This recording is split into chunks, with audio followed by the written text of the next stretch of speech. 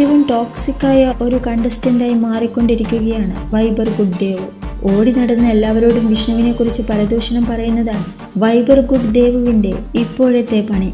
വിഷ്ണുവുമായുള്ള സൗഹൃദത്തിലുണ്ടായ വിള്ളലുകൾ കഴിഞ്ഞ ദിവസങ്ങളിൽ ദേവുവിന്റെ ഗെയിമിനെ സാരമായി ബാധിച്ചിരുന്നു.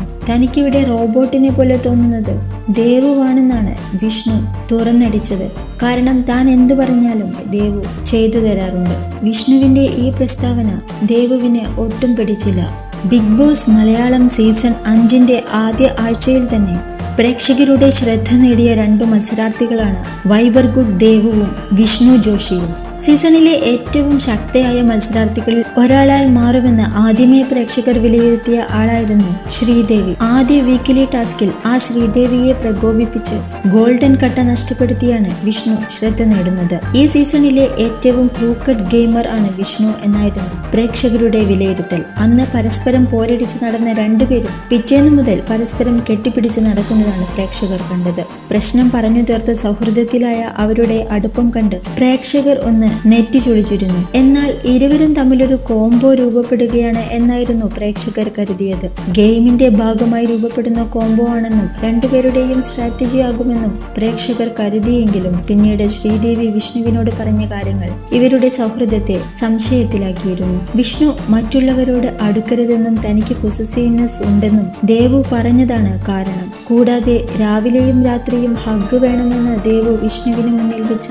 ഡിമാൻഡും പ്രേക്ഷകർക്കിടയിൽ ചർച്ചയായി മാറിയിരുന്നു. പിന്നീട് വീക്കിലി എപ്പിസോഡിലെത്തിയപ്പോൾ മോഹൻലാൽ വിഷ്ണുവിനോട് ഗെയിമിൽ ശ്രദ്ധിക്കാൻ പറയുകയുണ്ടായി.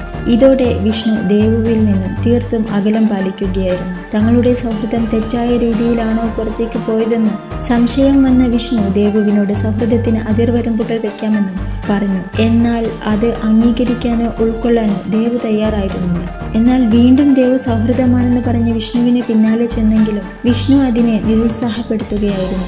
ഇപ്പോൾ കഴിഞ്ഞ രണ്ടു ദിവസങ്ങളിലായി ദേവവും വിഷ്ണുവും തമ്മിലുള്ള സംസാരങ്ങളൊക്കെ കുറവാണ്. വീട്ടിലെ മറ്റുള്ളവരോടൊക്കെ ശ്രീദേവി നിരന്തരം വിഷ്ണുവിനെ കുറിച്ച് സംസാരിക്കുന്നുണ്ട്. ഇവരുടെ സൗഹൃദം വീടിനുള്ളിൽ പോലും സംസാരമായി മാറിയിരിക്കുന്നു എന്ന് സാരം. കഴിഞ്ഞ ദിവസം ശ്രീദേവി ശ്രുതിയോട് ഇതിനെപ്പറ്റി സംസാരിച്ചു. ഞാൻ അവന്റെ പുറകെയാണെന്നും നാൽപ്പത് വയസ്സുള്ള തള്ള ഇരുപത്തഞ്ച് വയസ്സുള്ള പയ്യനെ കുറുക്കാൻ നോക്കുന്നു എന്നൊരു സംസാരമൊക്കെ ഇവിടെ എല്ലായിടത്തും കറങ്ങി നടക്കുന്നുണ്ടെന്ന് ദേവു ശ്രുതിയോട് പറഞ്ഞു. അങ്ങനെയുണ്ടെന്ന് മാരാറടക്കം എന്നോട് സംസാരിച്ചു. പുറത്തായിരുന്നെങ്കിൽ അവന്റെ മൂക്കിടിച്ച് പരത്തിയനെ എന്നും ശ്രീദേവി പറഞ്ഞു. എങ്കിൽ അവനെ തന്നെ വെച്ച് സംസാരിക്കുന്നതാണ് നല്ലതെന്ന് ശ്രുതി ദേവുവിനോട് പറഞ്ഞു.